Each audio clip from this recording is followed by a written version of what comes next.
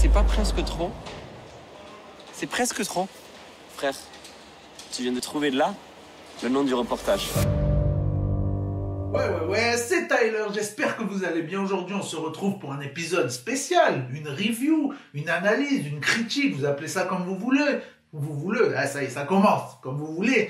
Euh, donc voilà, documentaire, Big Flo et Oli, j'avais vu il y a quelques temps, ils ont balancé le petit extrait, euh, le petit trailer avec Netflix.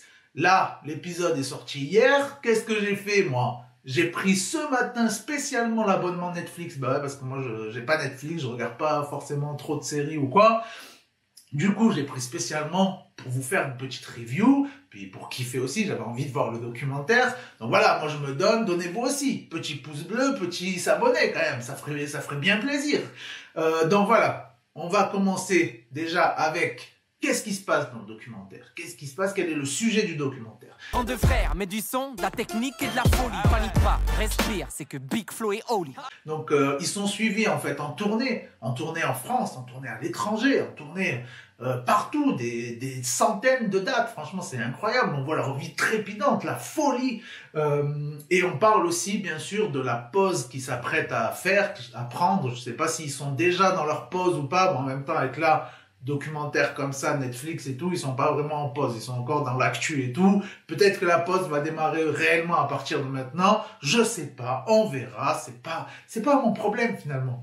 Euh, et donc, petit récapitulatif d'abord, qui sont-ils ces deux frères? Voilà, parce qu'il y a plein de gens, ils, ils connaissent à moitié, ils passent leur temps à critiquer Big Flo Oli, ouais, c'est de la merde, machin et tout, ils connaissent même pas. Big Flo et Oli, c'est deux frères, deux frères de Toulouse. Voilà, ils sont vraiment dans la musique, dans le rap depuis pratiquement enfant. Il y a des images d'archives de Lina, tout ça, qui sont disponibles sur YouTube d'ailleurs et qu'on retrouve dans le documentaire. Euh, ils ont sorti leur premier clip quand même en 2005. Voilà, ils étaient encore euh, tout gamins. Euh, signature en 2013. Donc voilà, déjà on voit le chemin. Ils sont pas arrivés là du jour au lendemain, les gars. Et 2013 et premier album en 2015.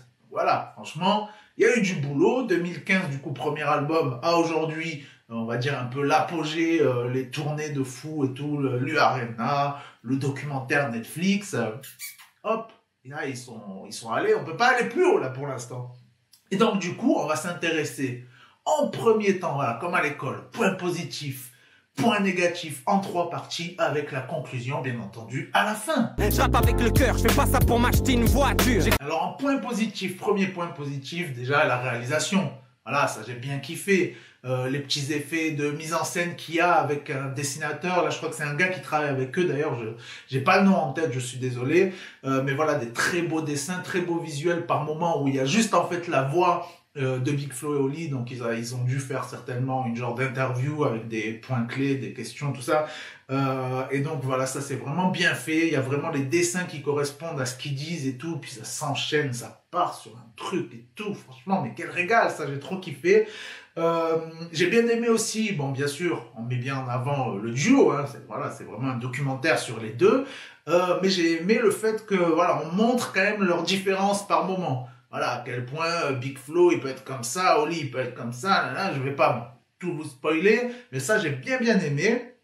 Euh, et ce que j'ai aimé aussi, c'est l'émotion ressentie, voilà, sur les shows, sur euh, le stress qu'il peut y avoir en amont d'un show, de, voilà, le, tout ce qui se passe autour, toute la préparation et tout, puis arriver au moment, l'émotion, l'émotion, je trouve qu'elle est bien retranscrite et tout, voilà, vraiment, des fois, c'était, oh, j'avais des frissons, attention, euh, voilà, donc ça c'est vraiment les points positifs. Voilà, dans l'ensemble, voilà, très bon, euh, très bon euh, documentaire.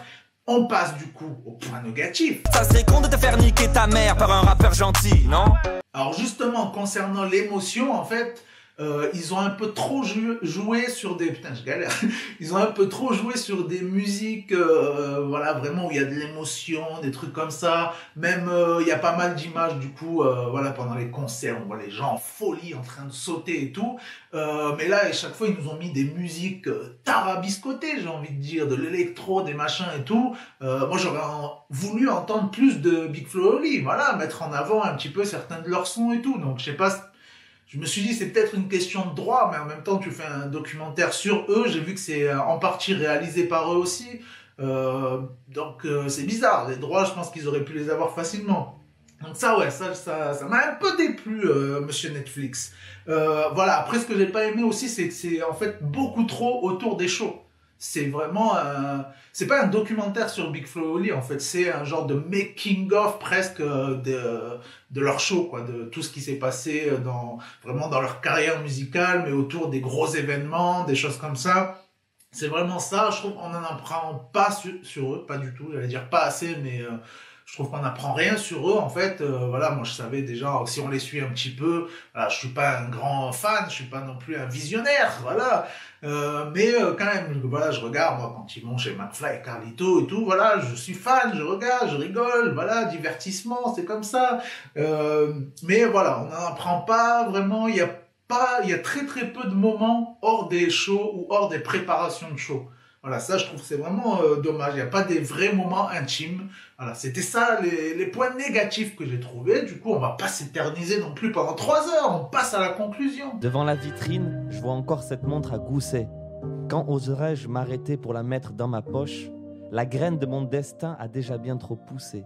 Son tic-tac me poursuit, me rappelant que la fin est proche. Alors déjà la conclusion, comme je disais tout à l'heure, franchement c'est un très bon documentaire on se régale. Euh, bon, il y a quelques lenteurs par moment où ils nous foutent les musiques et tout, machin. Surtout que, voilà, comme il y a plusieurs dates qui sont retranscrites, euh, voilà, après on revient un peu sur la même mécanique et tout. Donc euh, ça c'était euh, un peu chiant, mais sinon à part ça, franchement ça reste un truc hyper inspirant, j'ai envie de dire même motivant. Voilà, ça montre que c'est quand même deux gamins normaux, deux frères qui arrivent à faire des choses comme ça quand même incroyables. Du coup entre le premier album 2015 maintenant 5 ans, c'est pas ouf, mais en même temps quand on voit toutes les images, des fois il y a des images comme ça un petit peu mises les unes après les autres où on voit que ça va très vite, on voit les nombres de photos, des signatures, dédicaces, machin. Enfin, c'est incroyable. Donc ça, c'est vraiment inspirant. Euh, on a aussi envie, en fait, à la fin de tout ça, on a envie pour eux qui prennent cette pause. Franchement, on a envie. Euh, bon, même si, voilà, je vais pas tout vous spoiler, vous verrez que ils sont pas forcément euh, les deux dans le même, la même vision, le même, la même envie de faire cette pause. Voilà. Et puis je voulais aussi dire que du coup, tous les gens qui critiquent en disant que c'est pas du rap, que voilà, franchement, c'est euh, les deux frères là, ils apportent énormément de choses à pas mal de jeunes. Euh, beaucoup de jeunes se reconnaissent dans eux. Euh, ça aussi, d'ailleurs, ça manque un petit peu dans le documentaire. Je trouve qu'on voit pas assez. En fait, il y a, ça manque d'interviews de visionnaires et ça aurait été intéressant justement de montrer que il n'y a pas que des voilà des clichés de eux-mêmes sont des petits rappeurs blancs, mais il n'y a pas que des petits blancs qui les suivent. Voilà, tu vois, je pense pas être un petit blanc euh, de 13 ans. Euh, donc voilà, ça c'est, euh, c'est, voilà, c'était pour les gens qui les critiquent. Euh, voilà, oh, ce que j'ai aimé aussi du coup, c'est qu'on voit leur passion. Franchement, les moments où ils sont euh, en voiture et tout, ça kick, euh, c'est vraiment avec le cœur, quoi. Voilà, c'est pas, des arnaques, c'est, euh, c'est pas des rappeurs qui font ça pour l'argent ou quoi. C'est vraiment, ils ont une réelle, une réelle passion. Ils font ça vraiment avec le cœur, ils kiffent, voilà dès qu'il y a une petite instru et tout, hop, ça part en impro. En plus, ils sont très bons en impro. Voilà, contrairement à beaucoup de rappeurs qui sont derrière leur personnage de euh, dealer alors qu'ils n'ont jamais euh, touché 20 grammes de leur vie.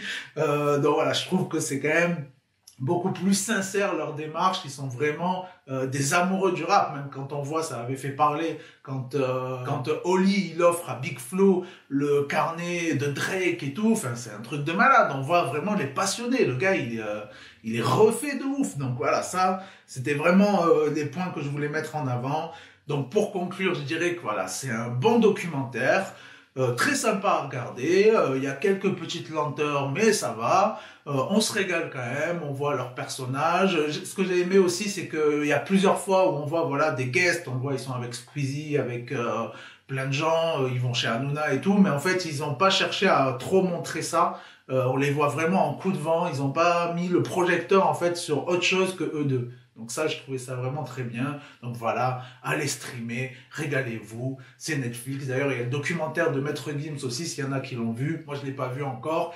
Euh, et puis voilà, du coup, dites-moi vous ce que vous avez pensé de ce documentaire, si vous l'avez vu, si vous l'avez pas vu, si ça vous intéresse, ça vous intéresse pas, vous en avez rien à branler, mais dites-le moi en commentaire, c'est par là.